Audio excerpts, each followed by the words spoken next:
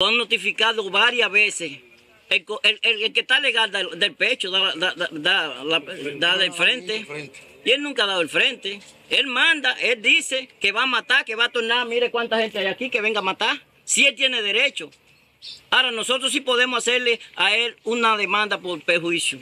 están también con nosotros tenemos nuestro documento que estamos reclamando nuestro terreno. Nosotros no estamos invadiendo, como ha dicho Enriquito Sánchez y los que- más que lo que lo ayudan.